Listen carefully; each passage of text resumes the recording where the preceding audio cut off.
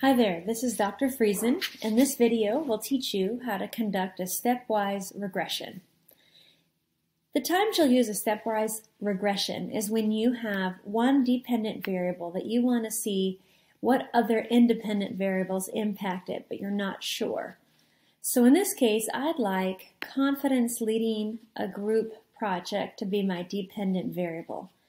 And I want to see if that students' involvement in the club leadership position, their social integration, their self-efficacy, and the whether or not they are a commuter student impacts uh, their confidence leading a group project. So the way you conduct a stepwise regression is you click Analyze, Regression, Linear.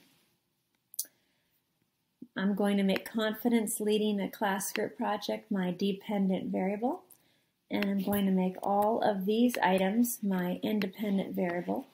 And since I'm not sure which one impacts, I'm putting them all in at once, and the stepwise regression will then determine for us which ones are significant predictors.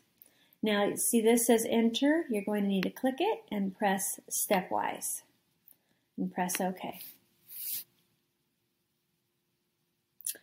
Your output here then will show you, take a look. So you have a, your R square and um, it has 0.55, which means 55% of the student's confidence in leading a group project is predicted by these variables. Now take a look. Um, we would report this particular, we would report our final um, F. In this case, it's 1 46.42 rounded, and a p is less than 0.001. So that means there is a significant, um, uh, this is a significant relationship here. And so then we take a look down here at the variables. And the ones that were left in this stepwise regression were social integration and college club leadership. Take a look at their betas. Social integration was 0.56 if rounded, and college club leadership 0.36 and both of them are significant at the p is less than 0.001. Um, these other variables were removed. So commuter student was removed. It was um, taken out of the equation. So it looks like it just left these only these particular ones.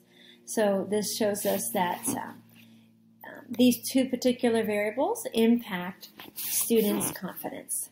And that is how you run a call, a stepwise regression.